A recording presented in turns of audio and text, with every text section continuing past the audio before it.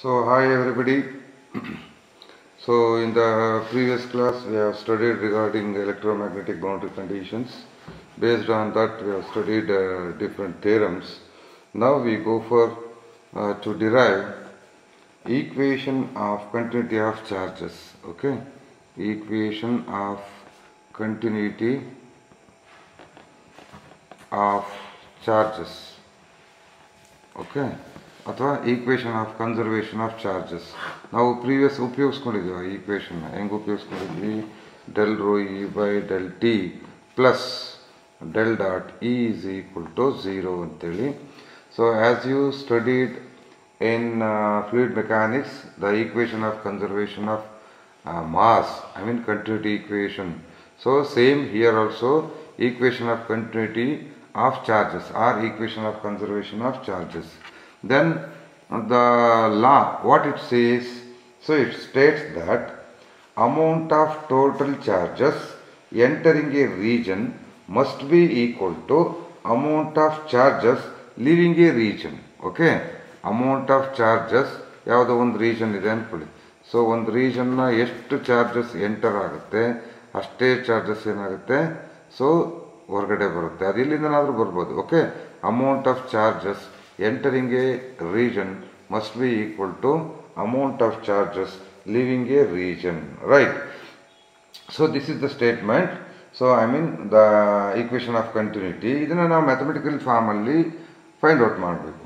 ಈಗ amount of charges so I am going to let it as Q I T ಅಂತ ಕರಿತೀವಿ. Total charges ಅಂತ. Okay Q I T is equal to amount of charges is equal to volume integral of rho E T into D V rho E T ಅಂದರೆ total density ಅಂತ. Rho E T means total ಬರೀ rho E ಅಂದರೆ density of charges ಇದು rho E T ಅಂದರೆ density of total charges right I mean total density of the charges so ಇದನ್ನು entering must be equal to amount of charges leaving ಅಂತ ಹೇಳಿದ್ದೀನಿ.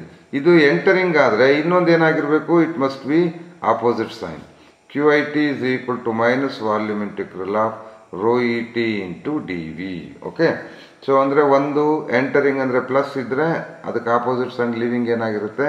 ಅದಕ್ಕೆ opposite sign minus ಇರುತ್ತೆ. If the charges are not stationary suppose charges stationary ಇಲ್ಲ ಅಂದರೆ they are moving ಅಂತ ಅಂದ್ಕೊಳ್ಳಿ so I mean if they move there will be leakages of charges across the surface so leakage of charges ಇದ್ದೇ ಇರುತ್ತೆ across the surface. The rate of leakage of charges across the surface produces the surface current. Okay. ಇಲ್ಲಿ the rate of leakage of charges ಅಂತ ತಗೊಳ್ತೀನಿ minus the rate ಅಂತ ಬಂದಿರೋದ್ರಿಂದ del Q I by del T is equal to minus volume integral of rho I mean del rho E T by del T into D V ಅಂತ ಇದು I mean ಈ Q I ಟಿನೇ ಬರ್ಕೊಳ್ಳಿ. ತೊಂದರೆ ಅಂದರೆ del Q I T by del T is equal to like this right ಇದೇನು the rate of leakage of charges right so we know the charges are in motion charges motion ಇರೋದ್ರಿಂದ will produce the current ಅದು ಯಾವ type ಆದರೂ current ಆಗಿರ್ಬೋದು but it produces the current okay the motion of charges produces the total current across the surface ಒಂದು surface ಇದು S ಅಂತ ಕರ್ಕೊಂಡ್ರೆ across the current there will be stove I mean production of current so ಅದನ್ನು ನಾನು ಅಂತ ಕರಿತೀನಿ? I S T ಅಂತ ಕರಿತೀನಿ. ಅಂದರೆ total current is equal to so surface integral of J T into D S ಅಂತ ಕರಿ J T dot D S ಅಂತ ಕರಿತೀನಿ. ಆ ಜೆ ಟಿ ಏನು? J T is total current okay total current density ಇದು ಹೆಂಗೆ ಬರಿತೀವಿ ನಾವು? As you know J T is equal to J plus so del P E by del T plus one by mu naught into del cross M ಅಂತ ಹೇಳ್ಕೊಟ್ಟಿದ್ದೀನಿ ನಾನು ಹಿಂದೆ. ಏನು? ಇದು ಟ್ರೂ ಕರೆಂಟು ಇದು ಪೋಲರೈಸೇಷನ್ ಕರೆಂಟು ಇದೇನಾಗಿರುತ್ತೆ ಇದು? ಮ್ಯಾಗ್ನೆಟೈಸೇಷನ್ ಕರೆಂಟ್ ಆಗಿರುತ್ತೆ ಓಕೆ ಜೆ ಟಿ ಅಂತಂದರೆ. ರೋ ಇ ಟಿ ಅಂತಂದರೆ ಇಟ್ ಈಸ್ ಸೊ ಅಲ್ಲಿ ಕೂಡ ನಮಗೆ ಡಿಫ್ರೆಂಟ್ ಸೊ ಏನು ರೋ ಇ ಫ್ರೀ ಚಾರ್ಜಸ್ಸು ಮತ್ತು ಪೋಲರೈಸ್ಡ್ ಚಾರ್ಜಸ್ ಇರುತ್ತೆ. ಏನದು? Rho E T is equal to so free charges rho E plus rho E B I mean polarized charges okay rho E T ಅಂತಂದ್ರೆ ಹಿಂಗಿರುತ್ತೆ J T ಅಂದರೆ ಹಿಂಗಿರುತ್ತೆ ಇದು total current density and ಇದು rho E T density of the charges total density of the charges that is rho E plus rho E B right ಈಗ according to conservation of charges ಏನಾಗಬೇಕು? ಈ ಈಕ್ವೇಷನ್ನು ಈ equation must be equal ಆಗಬೇಕು. I mean ಇಲ್ಲಿ charges ಎಷ್ಟು leakage ಇದೆ, ಅಷ್ಟು ಕರೆಂಟ್ ಇಲ್ಲಿ ಪ್ರೊಡ್ಯೂಸ್ ಆಗ್ತಾ ಇದೆ. That's why these two must be equal that is ಏನಾಗುತ್ತಪ್ಪ? Minus volume integral of rho E T into D V must be equal to surface integral of J T dot D S ಆಗುತ್ತೆ. Right so ಈಗ ನಾನೇನು ಮಾಡ್ತೀನಿ? ಇಲ್ಲಿ rho E T ಅಂದರೆ ಏನಂತ ಗೊತ್ತಿದೆ ನಿಮಗೆ? J T ಅಂದರೆ ಏನಂತ ಗೊತ್ತಿದೆ ನಿಮಗೆ? This is J T and this is rho E B right ನಾವು so convert the surface integral into volume integral using Gauss divergence theorem for vectors ಗಾ ಗಾಸ್ ಡೈವರ್ಜೆನ್ಸ್ ಥಿಯರಮ್ ಉಪಯೋಗಿಸ್ಕೊಂಡು ಇದನ್ನು ಕನ್ವರ್ಟ್ ಮಾಡ್ಬೋದು. ಹೆಂಗೆ ಬರೀತೀರಾ? Minus volume integral of rho E T into D V is equal to volume integral integral of of J T dot D S ಅಂತ. Divergence of D T dot sorry ಇದು ಇದು D V dot ಬರೋದಿಲ್ಲ ಅವಾಗ. Simply D V ಯಾಕೆಂದ್ರೆ volume convert ಮಾಡಿದ್ದೀನಲ್ವಾ divergence of J T into D V ಆಯಿತು. ಈಗ ಇಲ್ಲಿ what is V V is an arbitrary volume arbitrary volume ಆಗಿರೋದ್ರಿಂದ so ಏನು ಬರೀತೀನಿ ನಾನಿಲ್ಲಿ?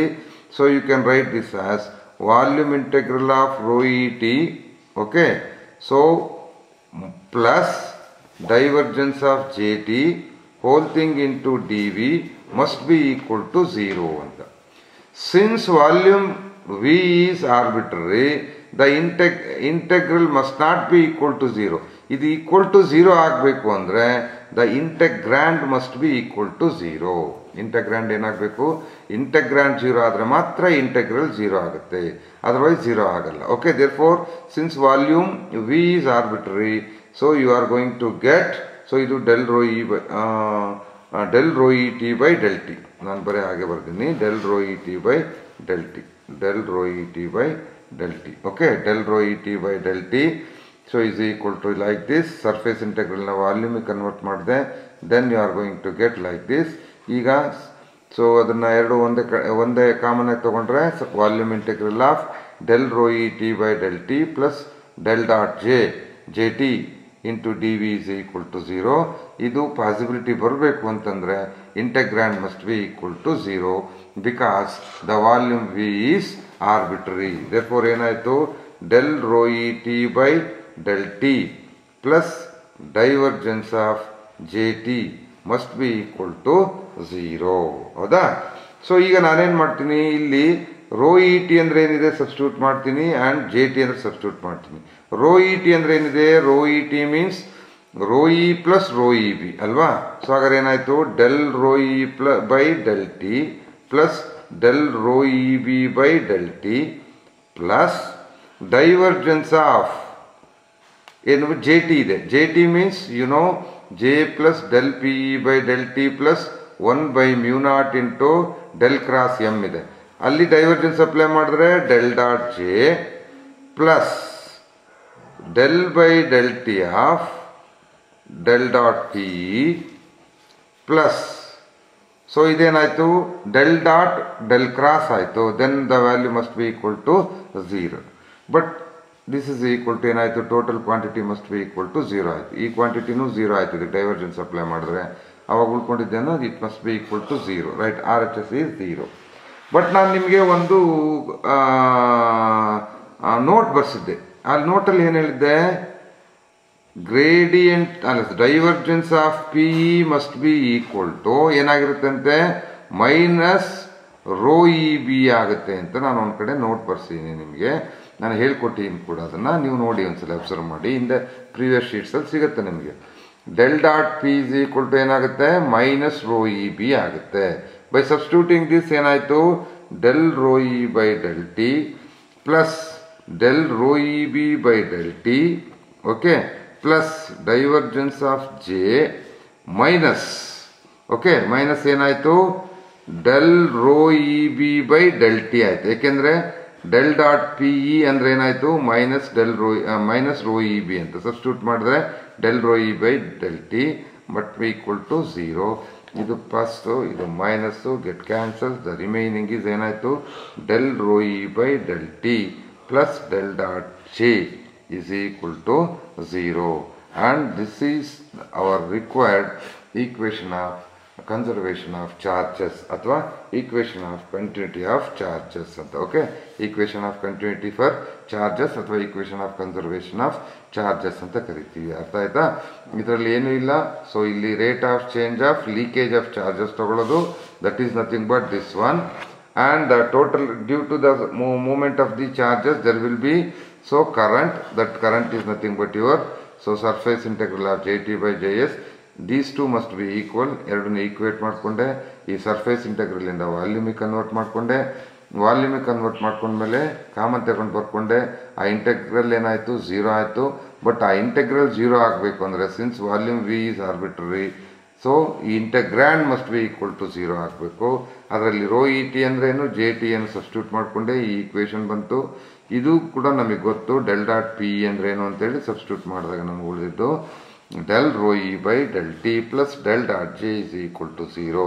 This is the required equation of continuity or conservation of charges ಅಂತ ಕರಿತೀವಿ. Okay ನಾವು ಸೊ ಇದಾದ್ಮೇಲೆ ಇನ್ನೊಂದು ಏನು ಬರುತ್ತಪ್ಪ ಅಂದರೆ ವೇವ್ ಈಕ್ವೇಷನ್ ಅಂತ ಬರುತ್ತೆ. ಏನು? ವೇವ್ ಈಕ್ವೇಷನ್ ಅಂತ. ಏನು ಸರ್ ನಾವು ಅಲ್ಲಿ ಪಿ ಡಿನಲ್ಲಿ ಓದಿದಿರಲ್ವಾ? So same wave equation P ಡಿನಲ್ಲಿ ಏನು ಓದಿರ wave ಈಕ್ವೇಷನ್ನು del square U by del X square plus del square U by del Y square plus del square U by del Z square is equal to del square U by del T square ಅಂತ ಓದಿರಿ. ಇದು three dimensional wave equation ಇದನ್ನ ಹೇಗೆ ಬರಿಬೋದು? ಲ್ಯಾಪ್ಲಾಸಿನ್ operator ಉಪಯೋಗಿಸ್ಕೊಂಡು ಬರೆದ್ರೆ del square U is equal to del square U by del T square ಅಂತಲೂ ಬರಿಬೋದು. ಯಾಕೆಂದರೆ ಇದು Laplacian operator Laplacian operator apply ಮಾಡಿದ್ರೆ ನಿಮಗೆ ಈ ಈಕ್ವೇಷನ್ ಬರುತ್ತೆ. So this is so called your wave equation ಇಲ್ಲೂ ಕೂಡ wave equation is very important so it is one of the most fundamental principle of electromagnetic is the wave equation okay it dictates about all waves travels at single speed ಇದೇನು ಮಾಡುತ್ತೆ? it dictates about all waves travels at a single speed and it can be derived from the Ampere's law as well as Faraday's law ನಾವು ಇದನ್ನ ಏನ್ ಮಾಡ್ತೀವಿ so we are going to derive the wave equation with the help of Ampere's law as well as Faraday's law. Suppose we are in source free region. Source free region ಅಂತಂದ್ರೆ ನಮಗೆ ಏನಾಗುತ್ತಪ್ಪ ಅಂತಂದ್ರೆ so J must be zero ಆಗಿರುತ್ತೆ J must be zero source free region ಅಂದರೆ current density must be equal to zero okay source free ರೀಜನಲ್ಲಿ ಇದ್ದರೆ so ನಾವು ಈಗ ಏನು ಮಾಡಬೇಕು? We have to find the I mean wave equation ಈಗ ನಾನು ಒಂದು ವೆಕ್ಟರ್ ಐಡೆಂಟಿಟಿ ಬರಿತೀನಿ. I think you know it ಏನು? Del cross del cross A must be equal to according to vector identity ಇದನ್ನೇ ಅಂತ ಬರೀಬೋದು ನೀವು. Gradient of divergence of A okay minus Laplacian of A ಅಂತ ನೀವು ಓದಿದ್ದೀರ, ಅಲ್ವಾ? ದಿಸ್ ಈಸ್ ಸೊ ಯುವರ್ ಏನು ಸೊ ವೆಕ್ಟರ್ ಐಡೆಂಟಿಟಿ ಇಲ್ಲಿ in place of A H ತಗೊಳ್ತೀನಿ ಮ್ಯಾಗ್ನೆಟಿಕ್ ಫೀಲ್ಡ್ ಇಂಟೆನ್ಸಿಟಿ ಏನಾಗುತ್ತೆ? Del cross del cross H must be equal to dye gradient of divergence of H minus Laplacian of H ಆಯಿತು. But ನಿಮಗೆ divergence of H ಅಂದ್ರೆ ಏನು? Zero because solenoidal property solenoidal property ಏನು ಹೇಳುತ್ತೆ? Del dot B is equal to zero ಅಂತ ಹೇಳುತ್ತೆ. ಬಿನ ಏನಂತ ಬರೀಬೋದು ಮ್ಯೂ ನಾಟ್ ಇಂಟು ಹೆಚ್ ಅಂತ ಬರೀಬೋದು ಸೊ ಮ್ಯೂ ನಾಟ್ ಏನು? Constant that's why divergence of H must be equal to zero ಯಾವುದರಿಂದ? This is due to solenoidal property. So according to that so ಇದೇನಾಗಬೇಕು ಈ ಟರ್ಮ್ ಝೀರೋ ಆಗಬೇಕು. ಹಾಗಾದ್ರೆ ನಿಮ್ಗೆ ಏನು ಉಳ್ಕೊಳ್ತು del cross del cross H must be equal to minus Laplacian of H ಅಂತ. Minus Laplacian of H ಅಂತ ಬರುತ್ತೆ. ಇದನ್ನು ಬೇಕಾದ್ರೆ ನೀವು ಸೊ ವೆಕ್ಟರ್ ಫಾರ್ಮಲ್ಲಿ ಕೂಡ ಡೆಲ್ ಡೆಲ್ ಸ್ಕ್ವೇರ್ ಹೆಚ್ಚನ್ನ ಹೆಂಗೆ ಬರುತ್ತೆ ಅಂತೇಳಿ ಲ್ಯಾಪ್ಲಾಸಿಯನ್ ಆಫ್ ಹೆಚ್ಚನ್ನ ನೀವು ವೆಕ್ಟರ್ ಫಾರ್ಮಲ್ಲಿ ಕೂಡ ಬರಿಬೋದು ಇದೇನಾಗುತ್ತೆ? ಲ್ಯಾಪ್ಲಾಸಿಯನ್ ಅಂದರೆ with respect to X with respect to Y with respect to Z second derivative ಅಲ್ವಾ? ಆಫ್ ಎಚ್ ಅಲ್ಲಿ ಮೂರು ಕಾಂಪೊನೆಂಟ್ಸ್ ಇರುತ್ತೆ. H X H Y H Z ಅಂತ ಮೂರು ಕಾಂಪೊನೆಂಟ್ಸ್ ಇರುತ್ತೆ. ಡಿಫ್ರೆನ್ಶಿಯೇಟ್ ಮಾಡಿದ್ರೆ ನಿಮ್ಗೆ ಏನು ಬರುತ್ತೆ? It should be in the matrix form ಏನು? Del square H X by del X square del square H X by del Y square del square H X by del Z square similarly next next line ಏನು ಬರಬೇಕು? I mean next row next row must be del square H X by del del square H Y by del X square del square H Y by del Y square del square H Y by del Z square similarly third row ಏನಾಗಿರುತ್ತೆ? Del square hz by del x square, del square hz by del y square, del square hz by del z square ಆಗಿರುತ್ತೆ. Okay ಈ ಫಾರ್ಮಲ್ಲಿ ಕೂಡ ನೀವು ಬರಿಬೋದು. ನಾವು ನಾನು ಈ ಈಕ್ವೇಶನ್ ಒನ್ ಅಂತ ಕರಿತೀನಿ.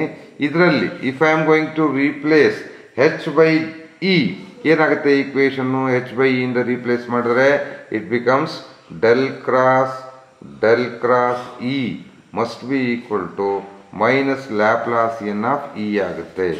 ಡು ಯು ಅಗ್ರಿ ಸೊ ನಾನೇನು ಸಿಂಪ್ಲಿ ಏನು ಮಾಡಿದ್ದೀನಿ ಈಕ್ವೇಶನ್ ಒನ್ನಲ್ಲಿ so in place of H ನಾನು ಎಲೆಕ್ಟ್ರಿಕ್ ಫೀಲ್ಡನ್ನು ನಾನು ಸಬ್ಸ್ಟ್ಯೂಟ್ ಮಾಡಿದ್ದೀನಿ then I am going to get this equation okay so ಇದನ್ನು ಸಮ್ ಈಕ್ವೇಷನ್ ಟೂ ಅಂತ ಕರ್ಕೊಳ್ಳೋಣ ರೈಟ್ ಈಗ ಫ್ಯಾರಡೇಸ್ ಲಾ ಗೊತ್ತು ನಿಮಗೆ. ಫ್ಯಾರಡೇಸ್ ಲಾ ಏನು ಹೇಳುತ್ತೆ? Del cross E must be equal to minus del B by del T ಅಂತ ಹೇಳುತ್ತೆ. ಅಲ್ವಾ? ಅಥವಾ ಇದನ್ನ ಏನು ಬರಿಬೋದು minus mu naught into del H by del T ಅಂತ ಬರೀಬಹುದು. Because B is equal to mu naught into H ಇದಕ್ಕೆ ನಾನು ಕರ್ಲ್ ತಗೊಳ್ತೀನಿ ಎರಡು ಸೈಡ್. ಕರ್ಲ್ ತಗೊಂಡ್ರೆ ಏನಾಯ್ತು? Del cross del cross E must be equal to ಇದನ್ನು ಬಿಟ್ಬಿಡೋಣ. ಇಲ್ಲಿಗೆ ಬಂದ್ಬಿಡಿ. ರೈಟ್, ಏನಾಗುತ್ತೆ ಅವಾಗ? Minus mu naught into del by del T of ಏನಾಯ್ತು? ಡೆಲ್ ಕ್ರಾಸ್ ಹೆಚ್ಚಾಗುತ್ತೆ ಹೌದೇನಪ್ಪ? By taking curl on both sides so this equation will becomes this equation I am going to call this equation as number three so ಈಗ ತ್ರೀನ ನಾನು ಟೂನಲ್ಲಿ use ಮಾಡ್ತೀನಿ. ಇದು three ಇದು equation two ಈ ತ್ರೀನ ಏನು ಮಾಡ್ತೀನಿ? I am going to substitute here ಅಂದರೆ del cross del cross E ಬದಲು ಈ ಟರ್ಮ್ನ ಈ ಈಕ್ವೇಶನಲ್ಲಿ ಸಬ್ಸ್ಟ್ಯೂಟ್ ಮಾಡ್ತೀನಿ.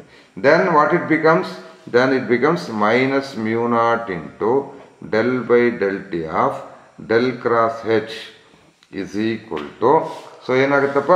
Del cross H is equal to right hand ಸೈಡಲ್ಲಿ del square E as it is minus del square E as it is call this equation as some four right ಈಗ Ampere's law ಉಪಯೋಗಿಸಿ. ಇದು Faraday's ಲಾ ಉಪಯೋಗಿಸ್ಕೊಂಡ್ರೆ ನಿಮಗೆ ಆ ಥರ ಬಂತು. ಇದು Faraday's ಲಾ ಉಪಯೋಗಿಸ್ಕೊಂಡಿದ್ದಕ್ಕೆ ಈ ಈಕ್ವೇಶನ್ ಸಿಕ್ತು.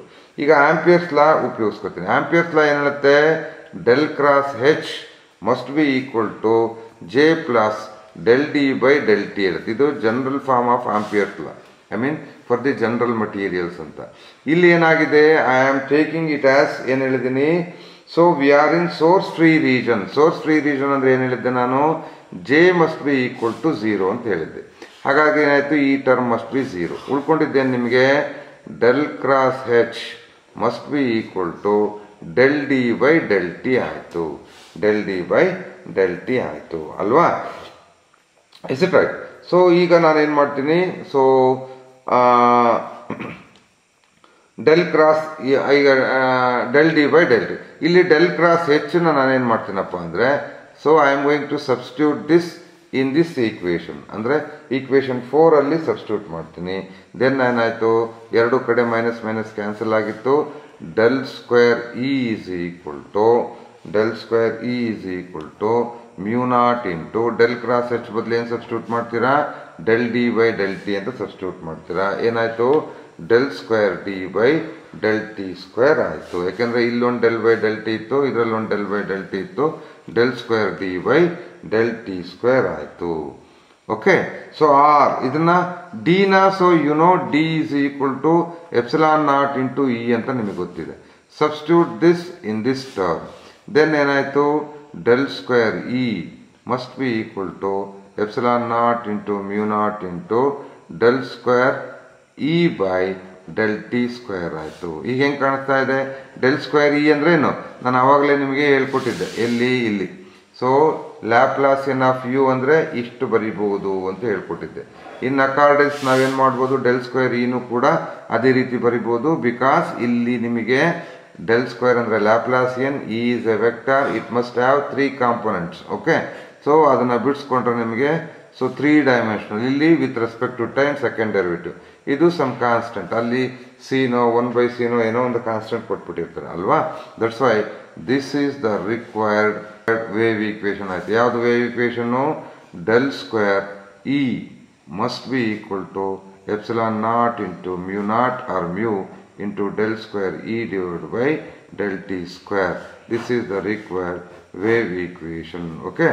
So ಇಲ್ಲೂ ಕೂಡ ನಿಮಗೆ ಕಷ್ಟ ಬೀಳುವಂಥದ್ದು ಏನಿಲ್ಲ it's very simple one so here we are going to use both Faraday's law as well as Ampere's law to derive wave equation ಯಾಕೆಂದ್ರೆ wave equation one of the most fundamental principle of electromagnetic is the wave equation okay so it ಇದೇನು ಮಾಡುತ್ತೆ it dictates about all the waves travel at a single speed okay so ಒಂದೇ ಸ್ಪೀಡಲ್ಲೂ ಹಂಗೆ dictate ಮಾಡುತ್ತೆ. That's why it is very important in the electromagnetic theory that's why so by this so your first chapter is completed so tomorrow onwards I am going for the second chapter ಇದು first chapter ರೀ. First chapter ಬಗ್ಗೆ ನೀವೆಲ್ಲ ನೋಡ್ಕೊಂಡಿರ್ರಿ. Full notes ಕಳಿಸ್ಕೊಟ್ಟಿದ್ದೀನಿ ನಾನು. So ಕ್ಲಾಸಿಗೆ ready I mean ಟೆಸ್ಟಿಗೆ ready ಆಗ್ರಿ. ಟೆಸ್ಟ್ ಯಾವಾಗ ಬೇಕಾದ್ರೂ ಅನೌನ್ಸ್ ಮಾಡ್ಬೋದು ಗೌರ್ಮೆಂಟ್ ರೆಗ್ಯುಲೇಷನ್ಸ್ ಏನು ಬರುತ್ತೆ ನಮಗೆ ಗೊತ್ತಿಲ್ಲ ಓಕೆ ಸೊ ನೀವು, ನಿಮ್ಮ ಸೇಫರ್ ಸೈಡಲ್ಲಿ ನೀವು ಓದ್ಕೊಂಡಿರೋದು ಒಳ್ಳೆಯದು ಟೈಮ್ ಇದೆ ಬೇಕಾದಷ್ಟು ಸುಮ್ಮನೆ ಟೈಮ್ ವೇಸ್ಟ್ ಮಾಡದೆ, ನೀಟಾಗಿ ಕ್ಲಾಸಿಗೆ ರೆಡಿ ಆಗಿರಿ ಪ್ರಿಪೇರ್ ಆಗಿರಿ ಓಕೆ ಸೊ ಇದು ಫಸ್ಟ್ ಚಾಪ್ಟರ್ ಓಕೆ ಸೊ ನಾಳೆಯಿಂದ ನಾನು ನಿಮಗೆ ಸೆಕೆಂಡ್ ಚಾಪ್ಟರ್ನ ಹೇಳ್ತೀನಿ okay thank you take care bye